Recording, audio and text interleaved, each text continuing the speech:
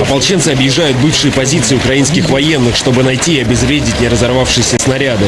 Вот, некогда успешное донецкое угледобывающее предприятие. Сейчас его не узнать. Карательные батальоны и наемники базировались здесь несколько месяцев. Отсюда обстреливали все окрестные населенные пункты. Отступая, шахту заминировали и пытались подорвать.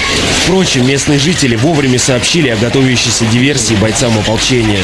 Здесь они проживали отсюда вели, в том числе и отсюда вели обстрел бли- близлежащих деревень.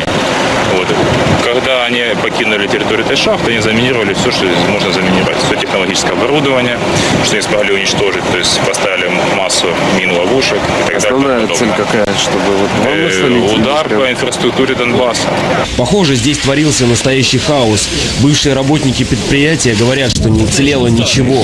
Украинские военные, словно мародеры, унесли с собой даже оборудование. Оставили лишь горы мусора.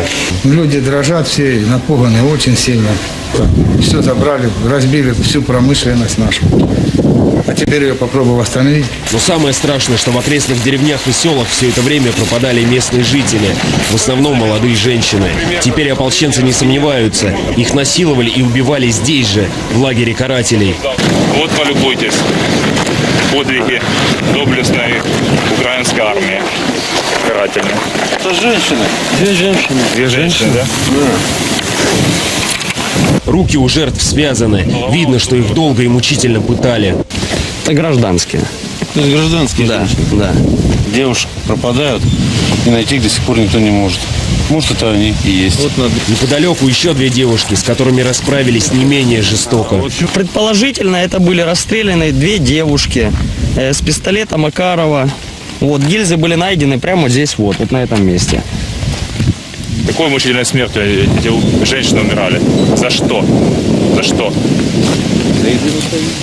За единую Украину. Или, или они были сепаратистами? Или террористами? Кем они были?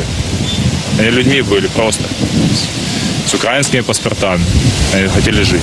Поблизости ополченцы собрали больше десяти не разорвавшихся снарядов. Их нужно обезвредить.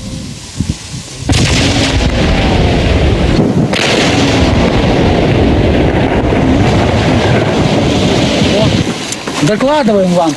Боеприпасы уничтожены. По данным разведки бойцов ополчения, в этом районе Донецкой Народной Республики базировалось почти 6,5 тысяч украинских солдат, в том числе боевики правого сектора. Дом разбили, всю квартиру разбили, все окна вылетели. Живи хоть на улице. Гаубичный снаряд, прилетевший, валяется. Видите, вот, он вот такие же уничтожили Да, один, да. Таких. В этом поселке, кажется, не уцелел ни один дом. Сколько людей погибло, остается только догадываться. Сейчас вот мы на броне отправляемся на разминирование снарядов, которые остались вот в этом городе. Ребята передвигаются на такой технике, потому что здесь э, в любой момент можно ожидать нападения.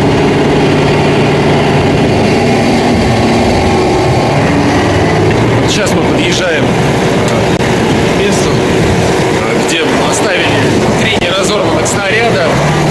Ребята везут с собой взрывчатку, чтобы разминировать их и уничтожить. Это еще одна база карателей. Брошенное оружие, горы гильз и несколько неразорвавшихся снарядов, которые до сих пор представляют опасность для местных жителей. Так, всем внимание! Всем покинуть место взрыва аж до бронетранспортера. Снаряды аккуратно складывают в бетонную яму. Ополченцы обходят территорию, убедиться, что в опасной зоне никого не осталось. Похоже, можно начинать.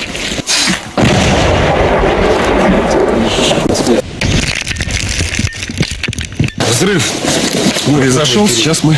А вот гриб. Гриб как раз виден.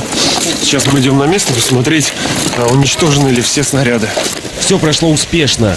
Впрочем, у ополченцев в этом районе еще много работы. Возможно, на несколько недель. Нужно обезвредить все мины на шахте Коммунарская 22 и отыскать родственников девушек, которые были здесь зверски убиты.